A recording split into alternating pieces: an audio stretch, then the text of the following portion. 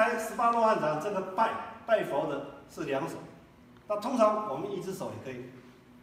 一只手的时候，注意到你要在手这边要更稳定、更轻，然后在这边对它的脊椎骨中阴线，从这边形成一个三角形，用这个三角形啊前面稳定，好用这边对它啊，这个是程度了，困难度会比较高，因为两只手可以去夹它，但是没得夹，没得夹以后，你就变成你要跟稳定去对它。啊，在这里只要你有出力就滑，有出力的滑啊，要注意一下。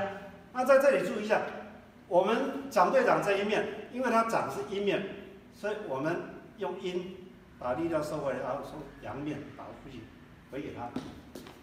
好，啊，万一换手了，他用另外一只手，这个时候我们关键是要站正一下，关键是一样啊，我们单手贴它，然后在这边。对中心线找一个角度，啊，去对它，一定准。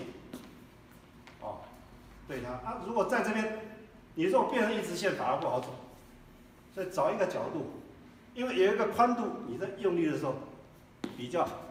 哦，那这一只手来讲的话，它是阳面，阳面用力对你，那我们阳面把它力量收回来，阴面回去。哦不要阳对阳，阳对阳会会钝到，所以阳收回来，阴出去，其他力就会走。哦，这是比较需要程度的部分。